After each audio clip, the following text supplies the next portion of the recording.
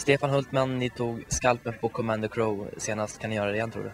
Ja, vi får försöka i alla fall. Vi har haft lite, vi har tur med spåret igen, spår 2 och eh, de fick ju spår 7 den här gången, eller spår 4 senast då, då. Så att eh, det ligger väl lite grann vad som händer från start här om, eh, om Örjan kan hålla ut Commander Crow från början.